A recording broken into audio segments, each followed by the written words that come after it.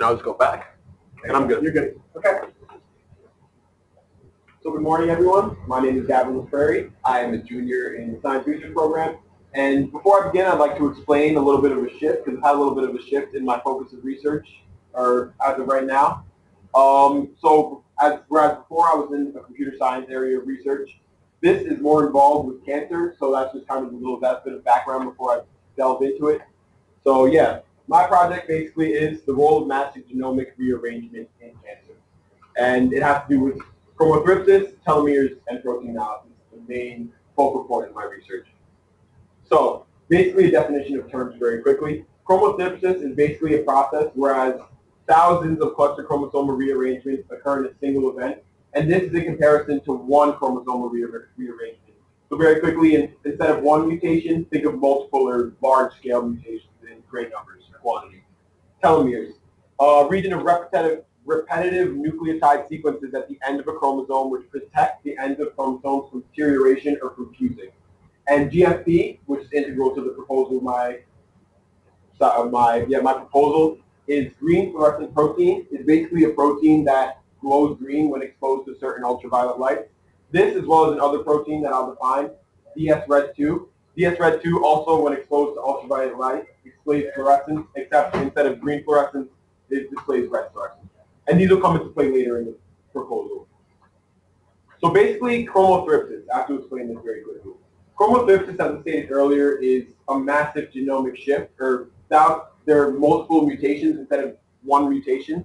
So what scientists are beginning to find that in place, instead of one mutation occurring in cancer cells, that cancerous cells often have genomic genomes that are entirely rearranged. And so what this leads to is that instead of like mutations occurring in the way that we had previously thought of them, as one mutation occurring in a cell and then cancer resulting, there's some event that's happening that cause that causes the genome to shift or change completely, and that's what causes cancer to occur. And so I'll explain this further. Oh, wait, excuse me. Yeah, basically that's it. That one mutation, that not one mutation is occurring, but many mutations are occurring at the same time, which causes cancer cells to occur. So explaining a previous study that this is based on. The previous study basically says that cancer, it's explaining that cancer should come about in a punctuated equilibrium, or that it should happen in one large event that changes everything that causes cancer, whereas previously cancer was thought about as a gradualism or like one mutation occurred, then another mutation occurred, then another mutation occurred. So what the study tries to do is explain an example of a chromothripsis event, and which is called the telomere crisis. So the telomere crisis basically states that telomeres, or the protective caps at the end of chromosomes, first that they decay. Then the telomeres of different chromosomes fuse together because they, they bind together since there's nothing holding the chromosomes to like individual separate states. When these chromosomes when these chromosomes fuse, they don't divide very easily, but they chromosomes have to divide in cell division. So what happens is the cells attempt to divide, but the chromosomes are still uh, fused. So what happens is that the chromatin acts as a bridge between two cells. So just to give you an image, this is basically what that, that what that looks like. As you can see in the photo, there are two cells trying to divide, but there's a chromatin bridge between the two. So this chromatin bridge is basically an example of of fusing of telomeres right in that general area where they were fused. And they're trying to divide, but they can't because the chromosomes are fused.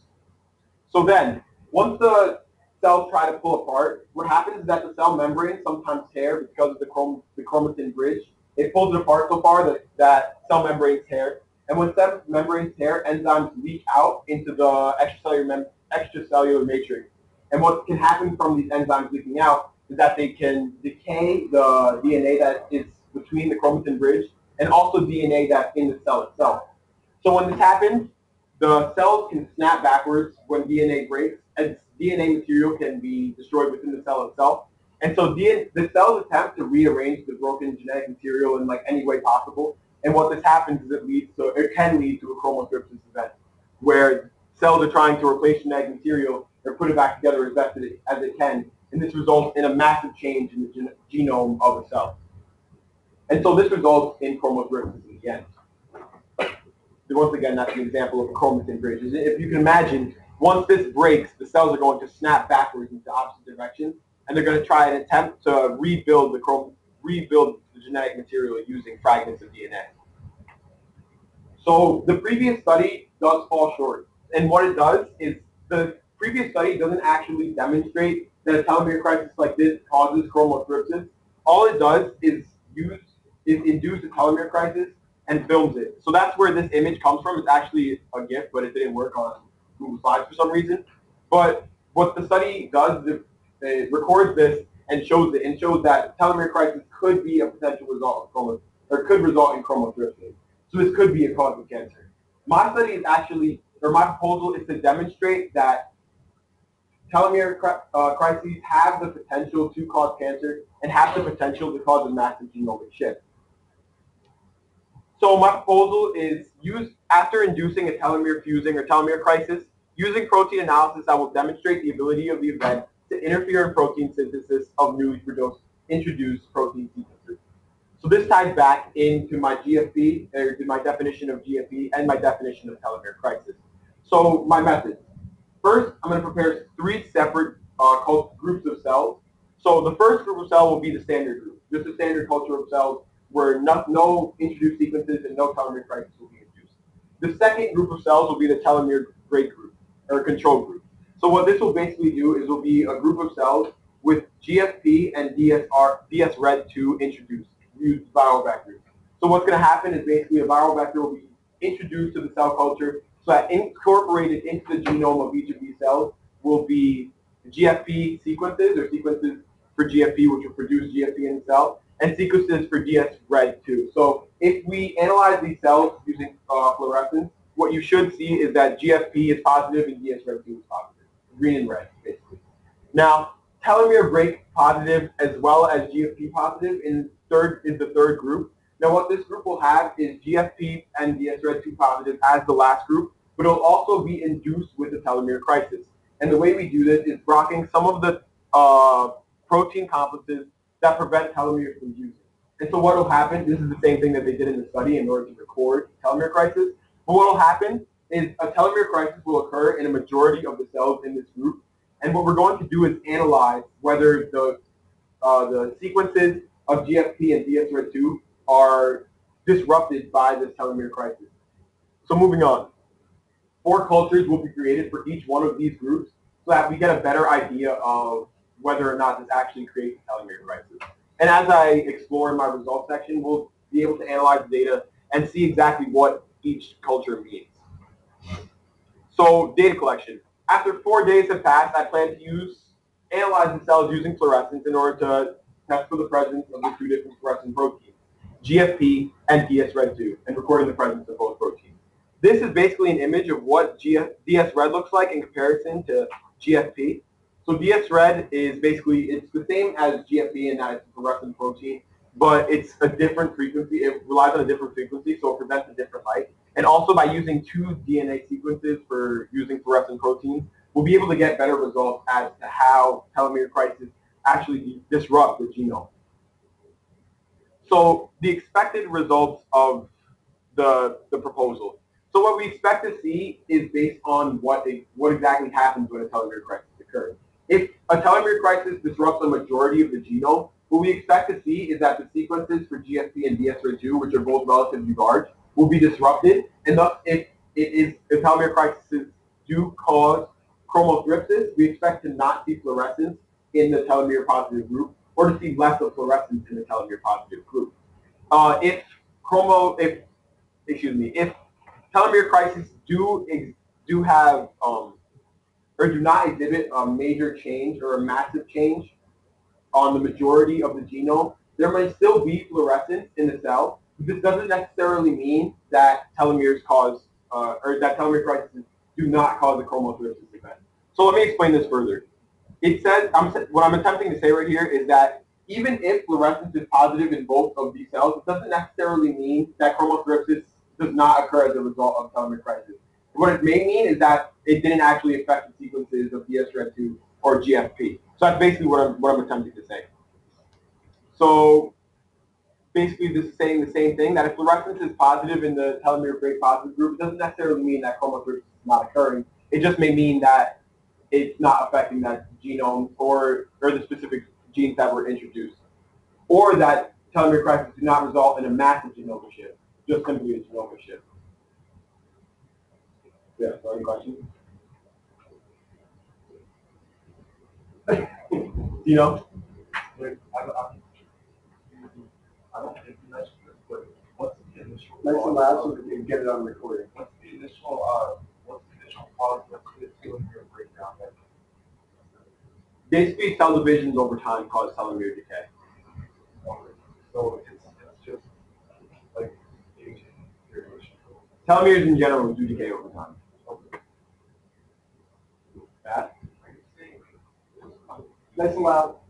are you saying you see less light, that means there's so disruption? So not necessarily, well, I'm not saying that there's protein disrupt- disruption. I'm saying that in the groups or in the, the sequences are being disrupted. If the sequences are being disrupted, then they're obviously not going to be expressed. And if they're not expressed, the proteins won't be present. So if the proteins aren't present, or if we analyze the fluorescence and the proteins aren't present, we can make the logical conclusion that, oh, the DNA sequences were disrupted.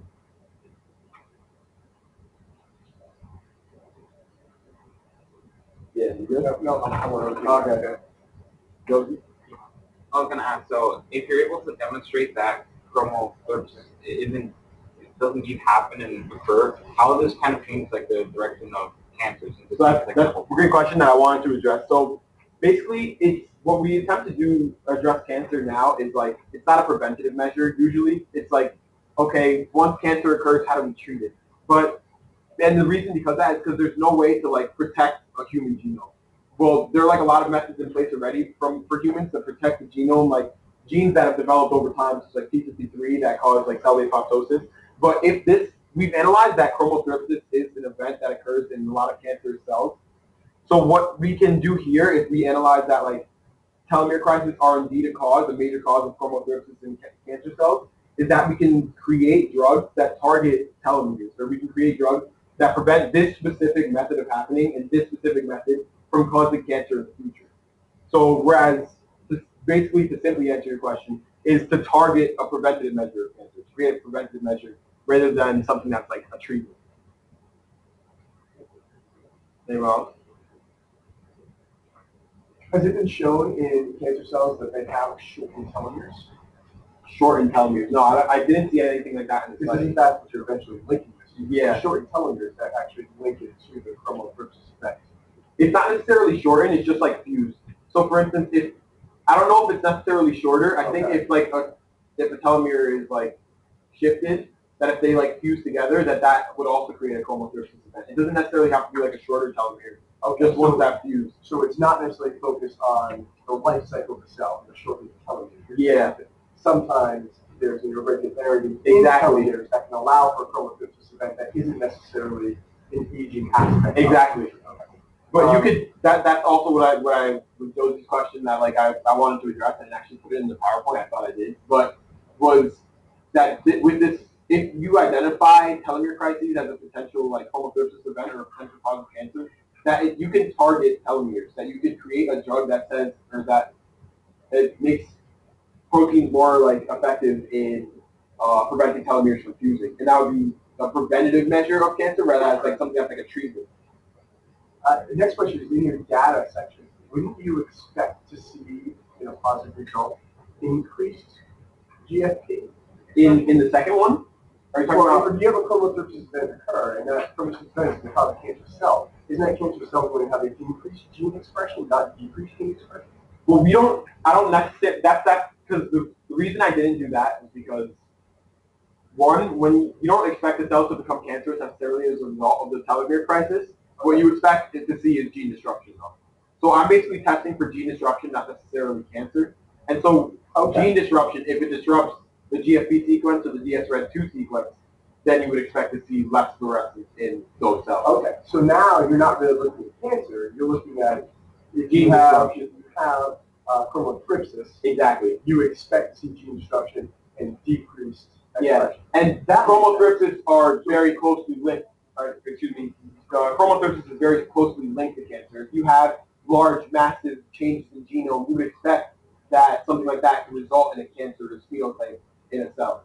But that's the jump I'm trying to make in my mind is if you, if you show chromothripsis showing decreased uh, gene expression, how do you make the jump from it jumping from now a cell is probably less functional, if not, you know, a cell Yeah, undergoing apoptosis to a cell that's actually becoming cancer. Yeah, that, that's, the, the, the link was actually proposed in the study. I don't know if I highlighted it here, Okay. but that cancer cells, a lot of cancer cells are found have that have chromothripsis events occurred in them. So by creating those like massive genomic shifts, a lot of cancerous cells do have these massive genomic shifts in them. And so you may think, oh, it may be less functional, but this massive genomic shift may result in something like a disruption in the gene that that, links like or that limits cell division. It only takes like one of those disruptions in one of those genes to cause something like that to become cancerous, to, become, to cause the cell to become cancerous. And that these these types of like pheno or these types of genomes are found in a lot of cancerous cells, which demonstrates that massive genomic shifts do like have a correlation with cancer. Any other questions? Can you go back to your chromatin bridge slide? Yeah. So what, like, causes chromatin to happen? Okay. So Say that one more time, I just didn't get the question. Uh, what causes chromatin bridging to happen? Yeah. Okay, so over time, when cell division occurs, naturally telomeres decay. And when telomeres decay, or when protein complexes decay, telomeres can sometimes fuse. And so what this happens, and what occurs, is two separate chromosome units will fuse together. These chromosome units in cell division attempt to split, but because they're fused, what happens is a strand of DNA between the two stays linked, and this is the like fused strand the two chromosomes are attempting to se- like divide between the cells, but because they're fused, they can't, and so that's where this chromatin bridge occurs. And then, That- when- and then when this breaks, um, chromothripsis is potential. Yeah, but they, they don't they didn't in the study they didn't demonstrate that chromothripsis occurs. They say, hey, this ripping of DNA could result in potential chromothripsis because enzymes that break DNA are now present in both of the nucleus nuclei of these cells. So that's where the main potential for chromothripsis can occur. Anyone else?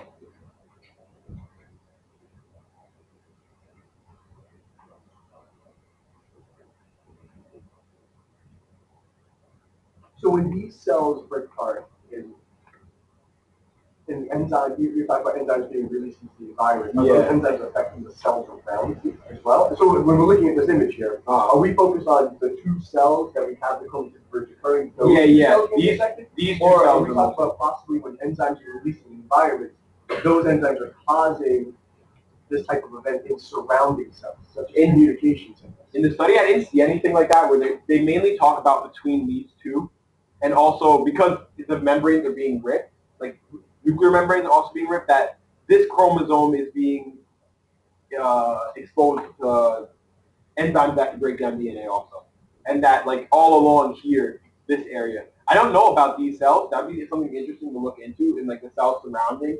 But there's something. Yeah. I don't know how exactly you test that. It's something definitely to think about that a, telomere crisis could have like a event or like potential to disrupt neighboring geno- genomes, but I, I didn't think about that. But in the study, it doesn't actually discuss that at all. It, it focused mainly on these two cells. These two cells.